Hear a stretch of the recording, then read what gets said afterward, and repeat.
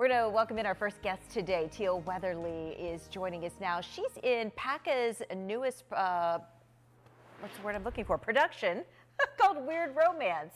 My brain just stopped there for a second, Teal. Thank you. Welcome to uh, to First at Fourth Blue Couches. It's nice to have you today. Thanks for having me. Yeah. So, uh, what is the storyline? Tell us about Weird Romance. Okay. Well, Weird Romance is actually um, a two-act musical that is two different musicals. Oh. Each act is a different story.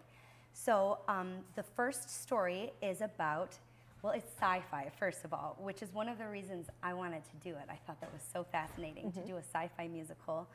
Um, and so the first act is about a homeless woman whose soul is transferred into the body of a beautiful android celebrity oh, wow. by a company that manufactures celebrities. Okay. Um, in the future. Yeah. You know?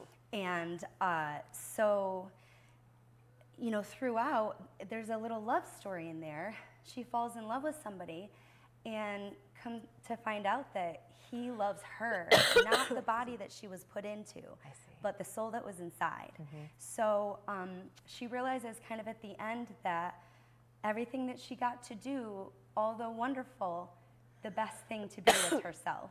And I really identified with that story, so I was excited to be a part of the show. Yeah, that's really cool. It's mm -hmm. very creative mm -hmm. and it's pretty deep too. It is. I, I it think is. what PACA does too, and I know you said you were from Jamestown when we were talking earlier. Yeah.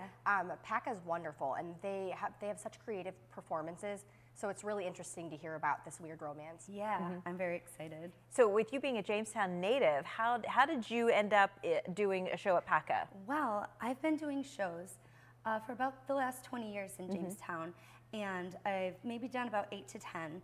Um, and I am kind of at a point in my life where I just really want to travel outside of my comfort zone. Sure. I want to get out, I want to experience things and do the things that I've always wanted to. Mm -hmm. And I feel capable uh, to do that. So I just looked up, you know, performances that I could be a part of, and the ad came up on Facebook. So well, and it sounds like it spoke to you. It did. That's the thing is that when I saw it, I thought, that's interesting. I wonder what that is. And when I read the synopsis, I felt so strongly about uh, the story, both of them, honestly. The second act is beautiful um, in a different way.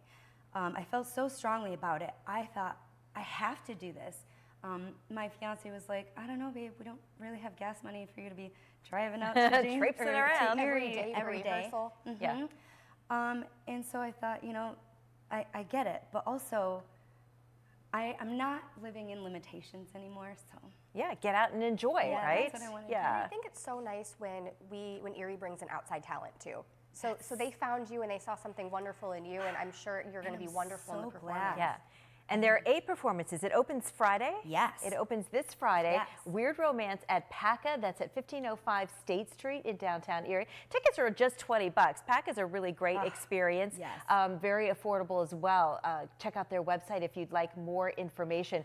But uh, highly recommend you heading out to see um, Teal in Weird Romance. Thanks for joining us today. Thank you so much. Yeah, nice we, and have and uh, break a leg, as they like to say, right? Thank you. All right.